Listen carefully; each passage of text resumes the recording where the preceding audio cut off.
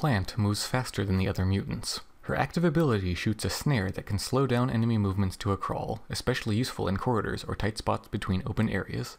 This makes Plant well suited to long range combat. Since you'll be taking out enemies from long distances, Plutonium Hunger helps with rad collection. You can take extra feet to move even faster, but the extra speed can be difficult to control. You can even further improve your ability to avoid bullets with Euphoria. Hammerhead is good for making bolt holes, especially if you place a snare at the entrance.